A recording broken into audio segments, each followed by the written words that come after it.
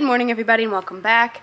Um, or maybe welcome for the first time. If you are new here, I'm Taylor and I work on a dairy farm in central Maine. Um, and if you like these videos, don't forget to like and subscribe and hit that notification bell so you know when new videos are being posted.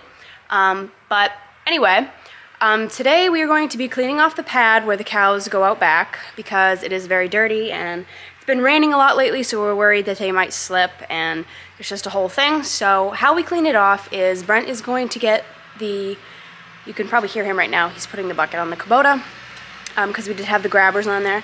Um, Brent's going to take this skid steer. Brent's my boss too if you're new here. Um, he's going to take the skid steer and he's going to clean up the pad, just put it in a pile, and then he's going to push it in my bucket. And I'm going to take it and dump it in the manure pit. So he's back now, so we're going to get right into that.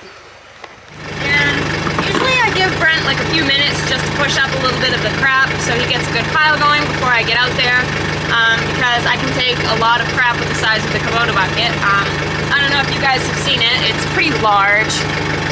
Um, you can see it right there. I don't know if it's like, I would say it's a seven, eight foot bucket, I guess.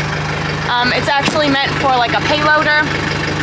Not supposed to be on a tractor this size, but um, we've used it for years and years and it seems to work just fine, so let's get out there and clean that pad off. probably shouldn't hit any cars today.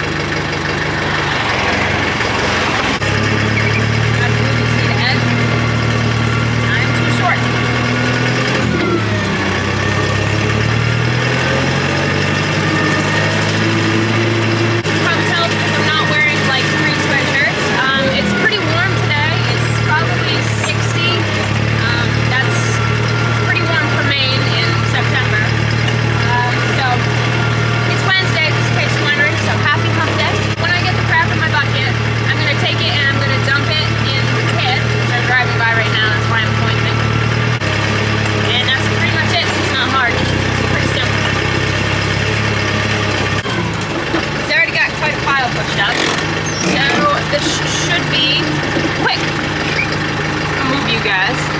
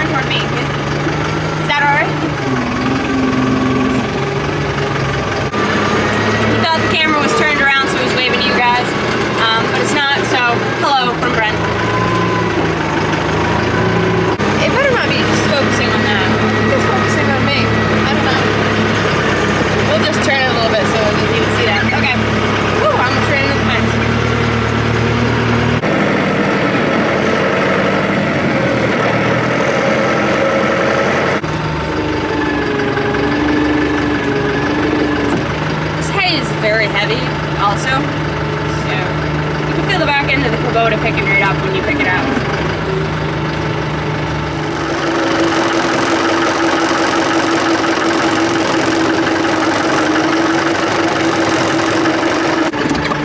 The uh, joystick handle on the Kubota is kind of funky, so I think we probably need a new cable or something.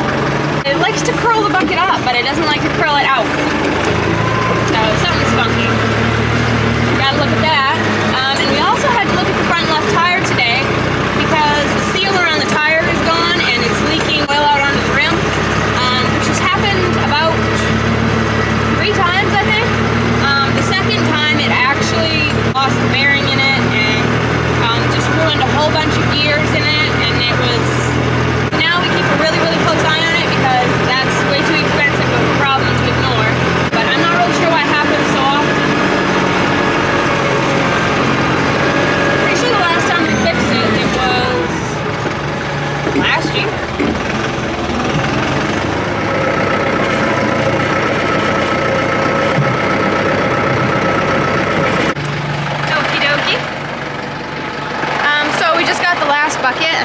Four or five buckets. Stupid weeds. Um, and this is what the freestall looks like all clean. Except for that, because we had to leave that because it didn't quite fit in a bucket. Got the cow's mineral blocks over there. See the cows out there grazing? You can also see how much the leaves are changing color over there in the swamp. Um, so that's sad because it seems like summer just started, but um, so yeah, that's the pad, freestall, top of the barn. Very interesting stuff. That's a water tank. It used to be an old milk tank, but now it's a water tank. Um, and we have a gate so we can shut the cows out of uh, the pasture so they can just stay on the pad and go in the freestall. So yeah, that's pretty much it. I close this gate. You can see all the weeds over here now. Um, we don't really come back here that often, just because the pad doesn't really need to be cleaned off that much. Um, so we don't really do it that often because the only reason it would need to be cleaned off is because we feed the cows on it and we don't do that very often. We only do it when we have a bad hay bale that we really don't want to feed inside. Um, we feed it out on the pad and they'll just pick at it and leave some. So that's why it's mostly hay. Haha, I didn't electrocute myself. Um, so yeah, we do have to look at this tire because like I told you guys, it was leaking. Um, we added some more oil, but we do need to fix it at some point. Um, it's not really leaking right now, but um, so this is the bucket. It's mostly hay. It is very heavy for the Kubota, um, extremely so. Um, but it works, so that bucket really probably shouldn't be on the tractor, but it's what we have, so we work with what we have. And yeah, so thank you guys so much for hanging out with me. Um, I hope you enjoyed this video. I know it's kind of boring, but that's the daily life of a farmer, so. Um, but thank you guys so much, and don't forget to like and subscribe. Bye, guys.